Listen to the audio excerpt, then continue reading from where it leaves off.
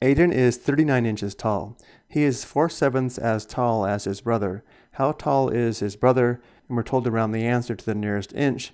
Let's let the variable b equal the brother's height.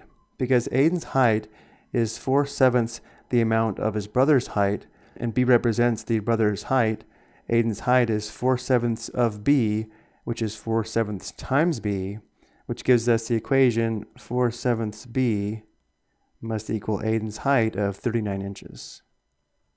And now we need to solve the equation for b to determine the brother's height. And since 4 sevenths b means 4 sevenths times b, we're probably thinking we should divide both sides of the equation by 4 sevenths, which is true. However, dividing by a fraction is equivalent to multiplying by the reciprocal, and therefore instead of dividing both sides by 4 sevenths, we will multiply both sides of the equation by 7 fourths.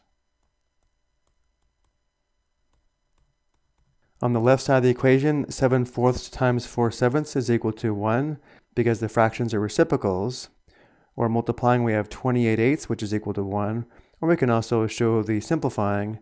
Notice how the numerators and denominators share a common factor of 7, as well as a common factor of 4. Simplifying the common factor of 7, 7 divided by 7 simplifies to 1 in the numerator and denominator. Simplifying the common factor of 4, 4 divided by 4 simplifies to 1 in the numerator and denominator as well. Notice now we just have 1 times b, which is b. On the right side, let's write 39 as a fraction with the denominator of 1. There are no common factors other than 1 between the numerators and denominators, and therefore we multiply the numerators and denominators.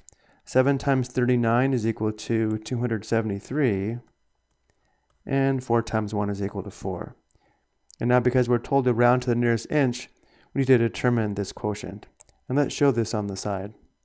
We begin by determining how many 4s in 27, which is 6. 6 times 4 is 24. We subtract. The difference is 3.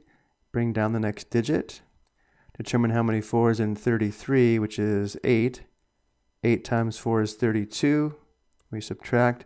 We have a remainder of 1, but because we're told to round to the nearest inch, we need to go out to one decimal place so we place a decimal to the right of the dividend, move it up to the quotient, and now we can put a zero to the right of the decimal in the dividend and bring the digit down.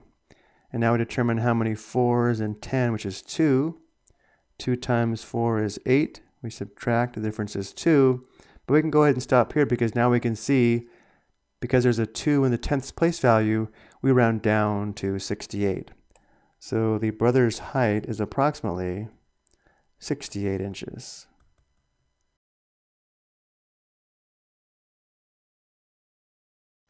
I hope you found this helpful.